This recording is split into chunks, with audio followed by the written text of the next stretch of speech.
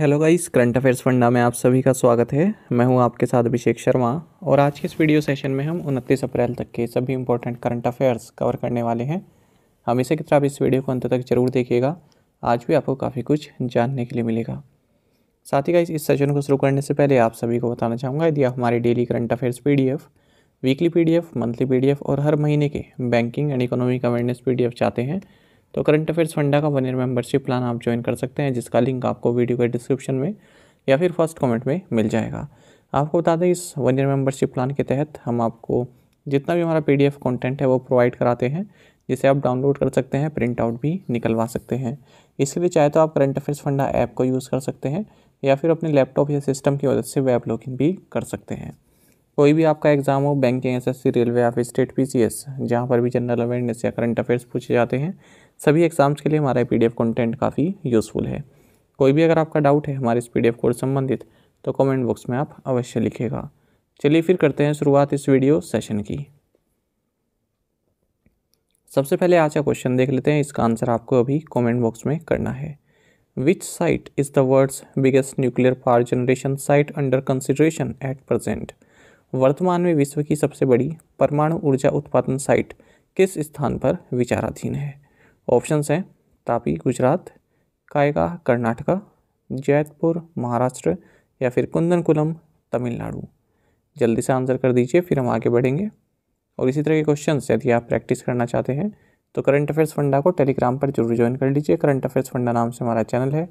Daily आपको static और current affairs से संबंधित क्विज वहाँ पर मिल जाते हैं।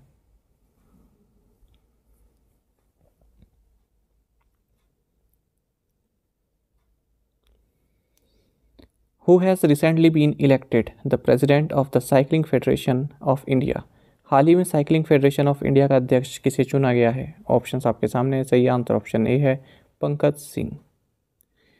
आपको जानना चाहिए, पंकज सिंह, जो कि नोएडा से बीजेपी एमएलए हैं और union defence minister Rajnath Singh के बेटे हैं, ये साइकिलिंग फेडरेशन ऑफ़ इंडिया के प्रेसिडेंट इलेक्ट हुए हैं।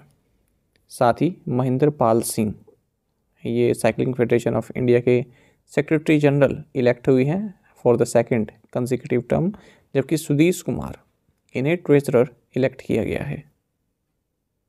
Which edition of a joint military exercise between India and the UK Ajay warrior 2023 has been started in the UK Bharat और UK के बीच एक संयुक्त सैन्य अभ्यास अजय वॉरियर 2023 का कौन सा संस्करण शुरू हुआ है?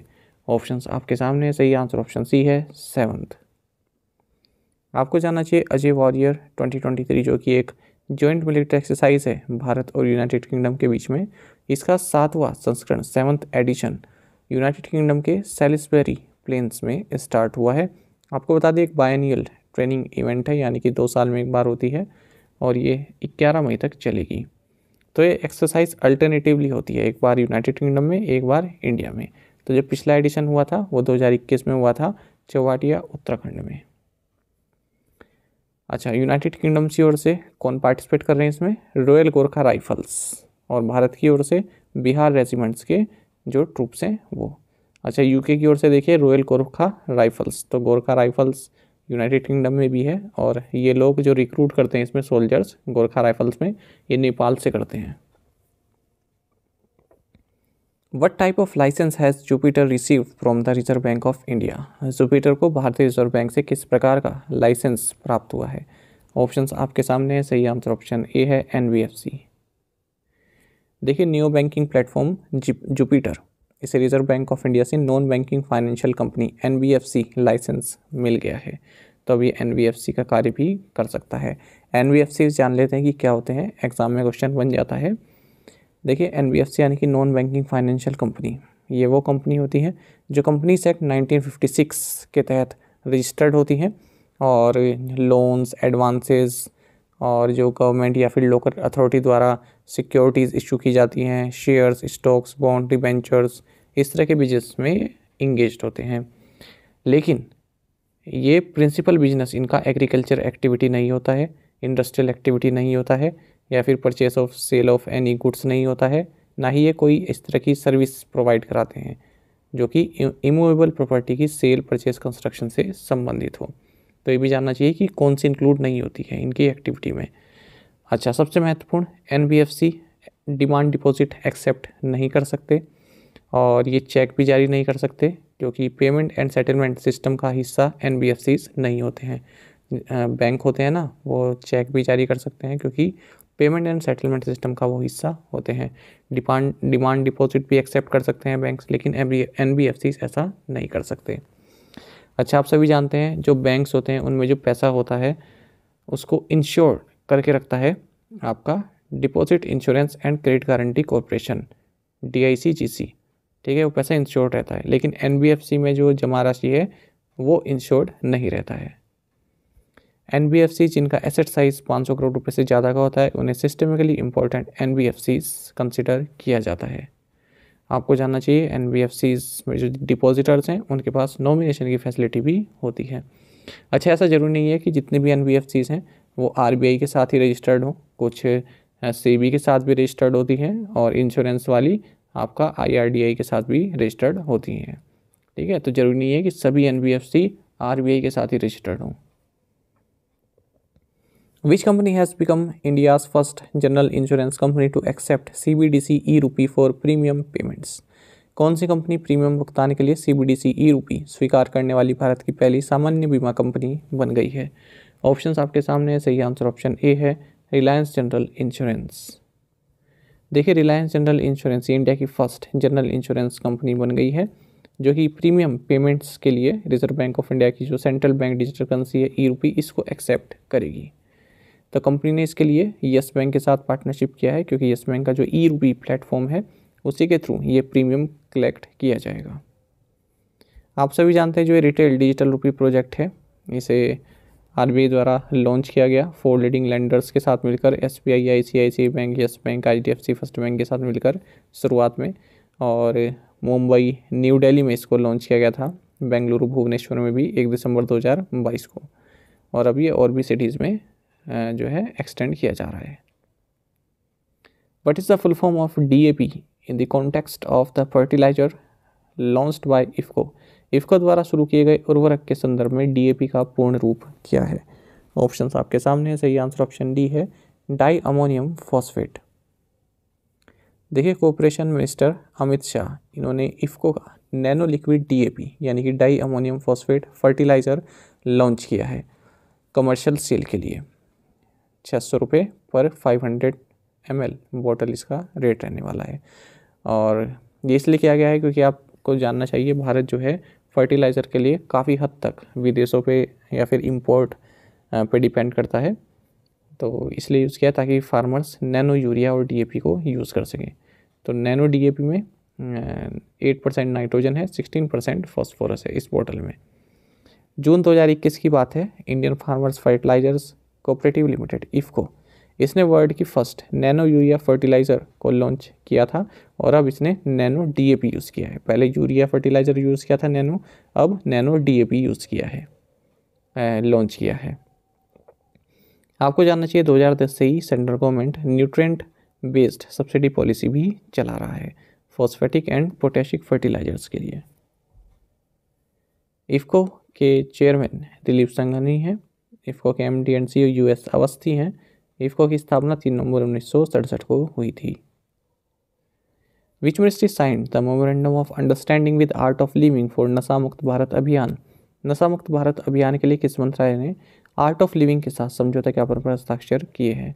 ऑप्शंस आपके सामने सही आंसर ऑप्शन सी रहेगा ministry of social justice and empowerment. देखिए ministry of social justice and empowerment इसने एक memorandum of sign memorandum of understanding sign किया है art of living Shri Shri Shri Shri Ravishankar की जो संस्था है आर्ट ऑफ़ लिविंग इसके साथ। Doctor B R Ambedkar international centre new Delhi में। क्यों किया है? ताकि जो यूथ हैं वीमेन स्टूडेंट्स हैं, उनके बीच में नशा मुक्त भारत अभियान का मैसेज दिया जा सके। तो ministry of social justice and empowerment government of India जो ट्रक की पूरी समस्या है हमारे देश में, इसकी जो डिमांड बढ़ रही है, उसको रोकने के लिए national action plan for drug demand reduction भी चला रही है। बाकी आप जानते हैं, union minister of social justice and empowerment doctor Virendra Kumar हैं। Which airline has unveiled the world's first robotic check in assistant named Sara. किस एयरलाइन ने दुनिया की पहली रोबोटिक चेक इन सहायक सारा का अनावरण किया है? ऑप्शंस आपके सामने सही आंसर ऑप्शन सी है, एमरेट्स। देखिए दुबई बेस्ड एयरलाइन एमिरेट्स, इन्होंने एक नया इनोवेशन अपना लॉन्च किया है। यह है वर्ल्ड की first robotic check in assistant जिसका नाम है सारा। तो सारा क्या करेगी? जो कस्टमर्स का फेस है, उसको स्कैन पासपोर्ट्स के साथ मैच करेगी और पैसेंजर का जो चेक इन है, वो भी कर सकेगी। साथ ही लगेज ड्रॉप एरिया की ओर भी उन्हें गाइड कर सकेगी। इसमें फेशियल रिकग्निशन टेक्नोलॉजी को यूज़ किया है और बोर्डिंग पास भी प्रिंट कर सकती है। जिससे कि चेक इन प्रोसेस और एफिशिएंट बन सकता है। ये पोर्टेबल भी है ठीक है? इसको एक जगह से दूसरी जगह भी ले जाया जा सकता है। Who inaugurated the sixth edition one One Earth, हेल्थ Health Advantage Healthcare India 2023 one earth one health advantage health care India 2023 के छठवें संस्करण का उद्घाटन किसने किया? ऑप्शंस आपके सामने सही आंसर ऑप्शन बी है नरेंद्र मोदी। देखिए प्राइम मिनिस्टर नरेंद्र मोदी ने प्रगति मैदान न्यू दिल्ली में, न्यू दिल्ली में one earth, one health, advantage health care India 2023 को इनोग्रेट किया है। Ministry of health and family welfare ने federation of Indian chambers of commerce and industry यानी कि फिक्की के साथ मिलकर इस one earth, one health, advantage health care India twenty के सिक्स एडिशन को लॉन्च किया। साथ ही आपको जाना चाहिए प्राइम मिनिस्टर नरेंद्र मोदी ने गुजरात में state wide attention on grievances by application of technology initiative यानी कि स्वागत इनिशिएटिव की ट्वेंटीथ एनिवर्सरी को भी अटेंड किया है via video conferencing PM Modi द्वारा अप्रैल 2003 में इस इनिशिएटिव को लॉन्च किया गया था जब ये राज्य के मुख्यमंत्री थे। With which country did India announce making the net zero innovation virtual centre Bharat ने किस देश के साथ net zero innovation virtual centre बनाने की घोषणा की है? ऑप्शंस आपके सामने सही आंसर ऑप्शन ए है यूनाइटेड किंगडम देखिए इंडिया और यूनाइटेड किंगडम मिलकर India UK net zero innovation virtual centre को स्थापित करेंगे। तो दोनों ही कंट्रीज़ से जो भी स्टेक होल्डर्स हैं वो दोनों ही मिलकर आ, कुछ एरियाज़ पर फोकस करेंगे जिनमें कि decarbonisation of manufacturing process and transport systems and green hydrogen as renewable source include है। अच्छा आप एक बात ये याद रखिए रोड मैप ट्वेंटी थर्टी ये किससे संबंधित है? भारत और यूके से संबंधित है। रोड मैप ट्वेंटी थर्टी दो हज़ार इक्कीस में अडॉप्ट किया गया था। और इंडिया और यूके किस तरह से health climate trade education science technology and defence में साथ में कार्य करेंगे, उससे संबंधित है road map twenty thirty. Where was the North Sea summit organise by European countries यूरोपीय देशों द्वारा उत्तरी सागर शिखर सम्मेलन कहाँ आयोजित किया गया? सही आंसर ऑप्शन बी है बेल्जियम देखिए नाइन यूरोपियन कंट्रीज़ ने हाल ही में एक डिक्लेरेशन साइन किया है ताकि जो नॉर्थ सी है, उसको ग्रीन पावर प्लांट में कन्वर्ट किया जा सके, ट्रांसफॉर्म किया जा सके। तो ये सबमिट रही North Sea summit twenty thirty. ये सेकेंड सबमिट रही है इस नॉर्थ सी समिट की, और ये ऑस्ट्रेन बेल्जियम में हुई है। पार्टिसिपेंट कंट्रीज़ की बात करें तो Belgium, Denmark, France, Germany, Ireland, Luxembourg, Netherlands, Norway and United Kingdom रही हैं। इसका ऑब्जेक्टिव है कि जो नॉर्थ सी है, उसको लार्जेस्ट ग्रीन एनर्जी सेंटर बनाया जाए यूरोप में, ठीक है, विंटर माइंस यहाँ पर लगाई जाएँ। तो इस समिट में कुछ टारगेट सेट किए गए हैं, जैसे कि at least one twenty gigawatt की एनर्जी हम प्राप्त कर सकें 2030 तक नॉर्थ सी से। फ़र्स्ट समिट ये 2022 में हुई थी। एब्सर डिक्लेरेशन यहाँ पर साइन किया गया था। डेनमार्क में सबमिट हुई थी। नॉर्थ सी की बात करें तो ये Great Britain Denmark Norway Germany Netherlands Belgium और फ्रांस के बीच में है। एटलांटिक ओशन को इंग्लिश चैनल से कनेक्ट करता है साउथ में और एटलांटिक ओशन को नॉर्वेजन सी से कनेक्ट करता है नॉर्थ में। Which country's first oil refinery built and funded with Indian assistance will be completed by 2025? भारतीय सहायता से निर्मित और वित्त पोषित किस देश की पहली तेल रिफाइनरी 2025 तक पूरी हो जाएगी? सही आंसर ऑप्शन सी है मंगोलिया। तो देखिए मंगोलिया की जो फ़र्स्ट ऑयल रिफाइनरी है ये 2025 तक कंप्लीट हो जाएगी। इसे बना रहा है और फंड कर रहा है इंडिया। तो इसका नाम है मंगोल ऑयल रिफाइनरी रिफाइनरी और 1.2 बिलियन यूएस डॉलर का इंडियन सॉफ्ट लोन इसमें यूज़ किया गया है। मंगोलिया की बात करें, कैपिटल उलन बटार है और करेंसी है टॉगरॉक। एक लैंड लॉक कंट्री है, ईस्ट एशिया में रशिया और चाइना के साथ बॉर्डर बनाती है। Which state has been awarded the country's prestigious Hudco award? किस राज्य को देश के प्रतिष्ठित हुडको पुरस्कार से सम्मानित किया गया है। सही answer option D, Uttar Pradesh है। आपको जानना चाहिए, उत्तर प्रदेश का जो स्वच्छ भारत मिशन अर्बन है, इसे हुडको अवार्ड 2022-2023 दिया गया है। तो ये अवार्ड इनको दिया गया है best practices to improve the living environment 2022 23 category for cleanliness और एक लाख रुपए की अमाउंट भी अमाउंट भी यूपी गवर्नमेंट को दी गई है इस अवार्ड के तहत। ये कैंपेन जो है कंडक्ट किया गया था स्वच्छ भारत मिशन अर्बन उत्तर प्रदेश के द्वारा 14 से 24 जनवरी के बीच में। Which company has been honoured with the global gold award by the Green Organisation the Green Organisation द्वारा किस कंपनी को ग्लोबल गोल्ड अवार्ड से सम्मानित किया गया है? ऑप्शन आपके सामने सही आंसर ऑप्शन डी है पावर ग्रिड देखिए Power Grid Corporation of India Limited P G C I L जो कि एक Maharatna C P S U है मिनिस्ट्री ऑफ़ पावर के तहत गवर्नमेंट ऑफ़ इंडिया इसे द ग्रीन ऑर्गेनाइजेशन द्वारा ग्लोबल गोल्ड अवार्ड दिया गया है। तो ये कहाँ पर दिया गया? ग्रीन वर्ल्ड अवार्ड्स 2023 जो कि मियामी, यूएसए में हुआ है। तो पावर ग्रिड का जो सी एस आर वर्क है, कॉरपोरेट सोशल रिस्पॉन्सिबिलिटी वर्क जो है, जिसके तहत इन्होंने Jaipatna block of Kalahandi district Orissa में जो टेन विलेजेस हैं, यहाँ पर एग्रीकल्चर, प्रोडक्टिविटी, रूरल लाइवलीहुड, इसके इम्प्रूवमेंट के लिए काम किया है। Which of the following has organized international conference on optimizing human capital of armed forces? Psychological perspective in Delhi? निम्नलिखित में से किसने दिल्ली में सशस्त्र बलों की मानव पूंजी का अनुकूलन, मनोवैज्ञानिक परिप्रेक्ष्य पर अंतर्राष्ट्रीय सम्मेलन आयोजित किया है? ऑप्शन आपके सामने सही आंसर ऑप्शन बी है डीआरडीओ देखिए, चार दिन चलने वाली international conference on optimising human capital of arm forces psychological perspective इसको ऑर्गेनाइज किया गया है, जो डी है, इसकी डेली बेस्ड लेबोरेटरी है defence institute of psychological research DIPR के द्वारा दिल्ली में। ठीक है तो इसका मकसद यही रहा है, जो भी आर्म फोर्सेस में जो ह्यूमन कैपिटल है, उससे संबंधित जो भी साइकोलॉजिकल चैलेंजेस हैं या फिर इमर्जिंग ट्रेंड्स हैं, उनके बारे में डिस्कशन करना। बाकी आप जानते हैं secretary department of defence research and development and DRDO chairman and इस कॉन्फ्रेंस के चीफ पैट्रन रहे हैं doctor Samir V Kamat. Which I I T Shunya sustainable housing for urbanising nation by its young aspirants. Team secured second place in solar decathlon build challenge in the United States.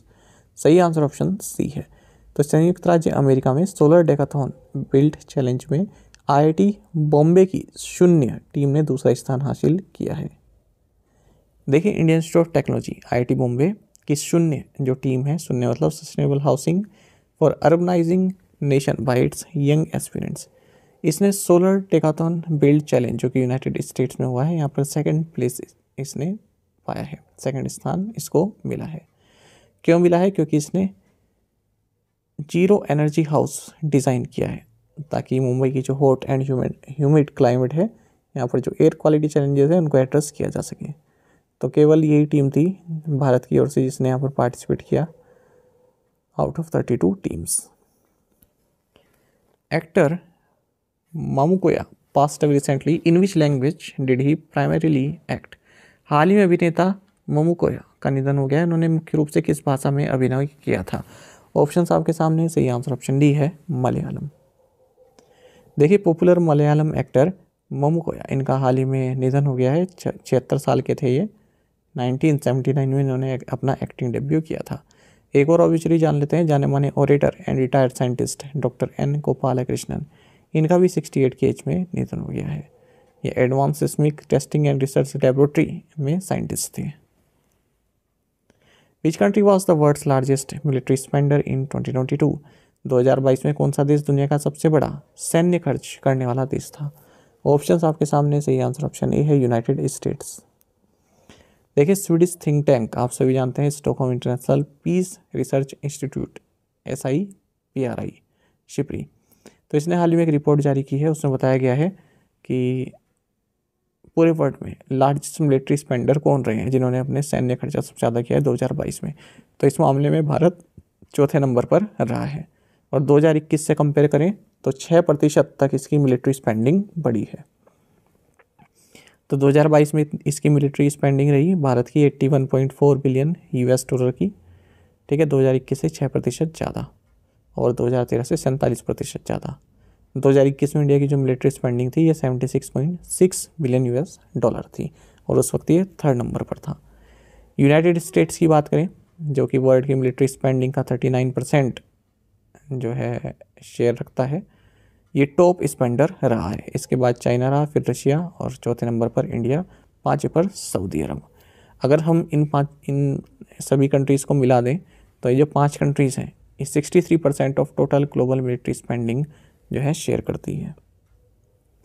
Total global military expenditure ये भी 2022 में 3.7 percent तक बढ़ा है और 2240 billion US dollar पहुँच गया है। तो एक महत्वपूर्ण रिपोर्ट है, ये भी याद रखिएगा इसके आंकड़े। प्रीवियस असाइनमेंट क्वेश्चन के आंसर देखते हैं। King stage national holiday in which country answer is the Netherlands in which state is Khongjom day was observed on twenty of April Manipur which country launch the one billion meal endowment campaign U who has become the fastest pacer to take 200 wickets in T20 cricket answer is Shaheen Afridi इसका answer किसी ने भी सही नहीं किया है? सबने जसप्रीत बुमराह लिखा हुआ है। Which country has tested a new emergency alert system on millions of phones answer is United Kingdom तो हम CDS का जो एग्ज़ाम हुआ था अभी अप्रैल के महीने में, इसमें जो क्वेश्चंस पूछे गए जनरल अवेयरनेस या करंट अफेयर संबंधित उन्हें डिस्कस कर रहे थे, इससे पहले हम तीन क्वेश्चन देख चुके हैं। आज देख लेते हैं दो क्वेश्चन तो क्वेश्चन है the resolution adopted by the United Nation General Assembly on third March 2021 decided to celebrate the year 2023 as the international year of options and basic sciences for sustainable development. Glass millets या फिर कैमलेट्स answer होगा millets तो आप सभी जानते हैं 2023 को हम इंटरनेशनल ईयर ऑफ़ मिलेट्स मना रहे हैं। अच्छा इसमें इस क्वेश्चन में भी एक और क्वेश्चन है। आपसे भी पूछा सकता है कि यूनाइटेड नेशन जनरल असेंबली ने जो ये 2023 को हम इंटरनेशनल ईयर ऑफ़ मिलेट्स मना रहे हैं, इससे संबंधित रेजोल्यूशन कब एडॉप्ट किया था? तो याद रखिएगा, तीन मार्च 2021 को। या फिर मार्च 2021 ये भी याद आप रख सकते हैं। तो एक क्वेश्चन ये भी है। अब आप खुद को देख लीजिए, क्या आपका ध्यान इस चीज़ पे गया था कि हम ये भी पढ़ें कि जो रेजोल्यूशन है, वो कब एडॉप्ट किया गया? ठीक है? एक और क्वेश्चन देख लेते हैं। सिंपल क्वेश्चन है। Who among the following is known as Payyoli express option हैं हिमा दास दूती चंद पी टी ऊषा या फिर शाइनी अब्राहम तो आप सभी इसका आंसर जानते होंगे पी टी ऊषा चलिए आज के असाइनमेंट क्वेश्चन देखें, काफ़ी महत्वपूर्ण क्वेश्चन हैं सभी। Name the parent organisation of Blinkit as per India first water body census which state has the highest number of tanks as per India first water body census which state has the highest number of lakes as per India first water body census which state has the highest number of ponds and reservoirs As per India's first water body census, which state leads in water conservation schemes? तो हाल ही में census जारी की गई है। मैंने आपको detail में भी बताया है। तो इन पाँचों क्वेश्चंस के आंसर आप कमेंट बॉक्स में अवश्य दीजिएगा। साथ ही करंट अफेयर्स फंडा को आप टेलीग्राम पर भी ज्वाइन कर सकते हैं। यहाँ पर रेगुलर वीडियो अपडेट्स और करंट भी जैसा हम आप सभी के लिए डालते रहते हैं। साथ ही डिस्कशन ग्रुप में आप किसी भी क्वेश्चन का सोल्यूशन पा सकते हैं। दोस्तों यहाँ पर हमारे करंट अफेयर्स की प्लेट्स दी गई है। इसको आप ज़रूर देखें। अपने दोस्तों के साथ फेलो स्टूडेंट साथ हमारे करंट अफेयर्स को शेयर ज़रूर करें। आज का ये सेशन आपको कैसा लगा? कमेंट बॉक्स में अवश्य बताइएगा। Thank you guys